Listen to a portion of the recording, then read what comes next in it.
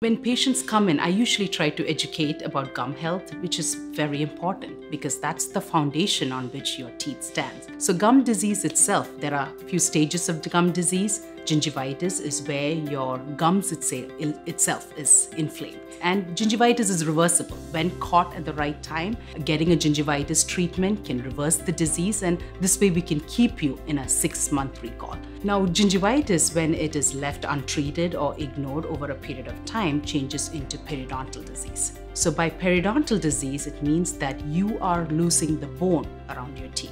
So the bone that supports your teeth is losing its integrity and it's going down. So when you have periodontal disease, unfortunately, you do need what we call scaling and root planing or a deeper cleaning. This is where we get you numb and it's and it's a procedure where we get in there and clean everything out so we can get to that bacteria that lays deeper in your bone. And once you're a periodontal disease, I say it's like diabetes. You're never really cured, but we want to keep you on a maintenance so that that bacteria that caused the initial destruction in the bone does not repopulate or as it repopulates, we are in there cleaning it out.